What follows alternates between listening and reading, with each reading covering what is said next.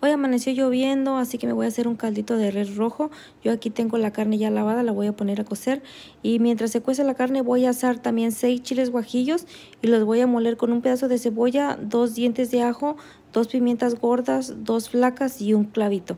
Cuando este, el caldo empieza a hervir, se le empieza como a salir una una espumita, esa se la vamos a quitar este, antes de ponerle la, la, salsa.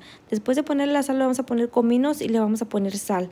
De ahí vamos a empezar a preparar la, la verdura que le vamos a poner a nuestro caldo. Yo voy a utilizar este zanahoria, papa, calabacita y chayote.